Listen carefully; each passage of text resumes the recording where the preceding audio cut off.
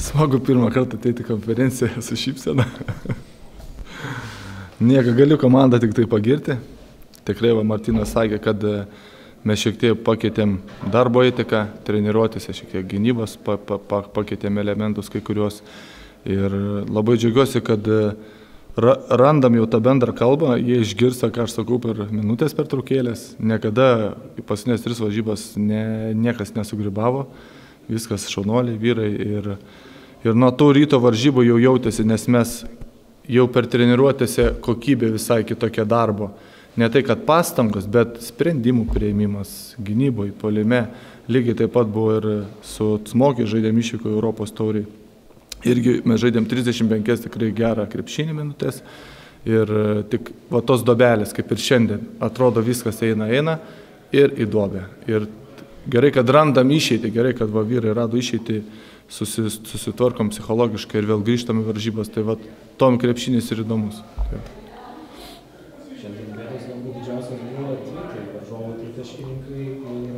kamuolys. Jo.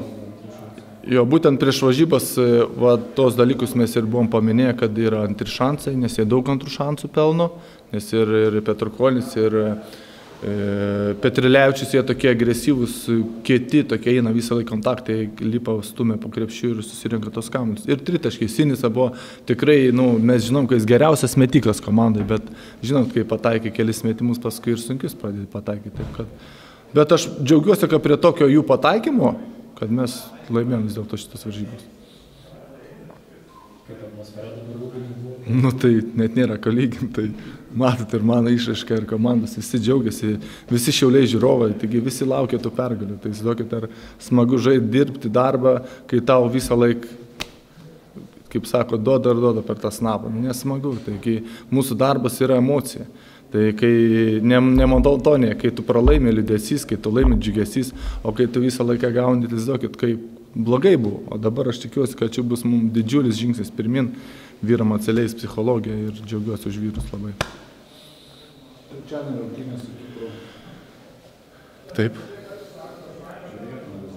Ne, aš niekada ne, ne, nesiuošiu dviem varžymų iš karto.